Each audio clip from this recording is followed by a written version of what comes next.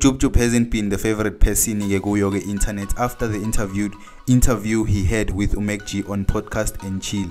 On the interview wazwakala ke na kuJub Jub uh, talking about Amanda Du-Pont their intimacy kanye nayo ke relationship that he had with Amanda Du-Pont. After that he trended for days yena ke no Amanda even after Amanda released yona ke i video where she was talking about the experiences she had while she was in a relationship naye ke uJub Jub kwabonakala kubonakala ke even his mother defending um, his character wareleasa ke i-voice note ke esho ukuthi ke eh, naye ke u-amanda du-pont has got her own secrets that she can also reveal today ke we woke up to the news ke ukuthi ke ujubjubu ke has released an official statement where he was officially apologizing to yena ke u-amanda du-pont this is how um, Jub has responded or is apologizing to Amanda Du-Pont.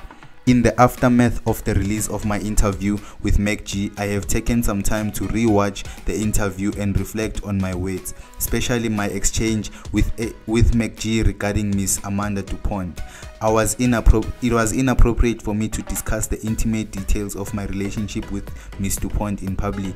I deeply regret the incident. I wish to apologize unreservedly to Amanda for the humiliation and hurt I caused her. I also apologize to my fans and the public for the inappropriate language I used during the interview. With regards to the accusations leveled against me by Amanda and others, I have decided to make room for the law to take its course and I request the media and the public to do the same. End.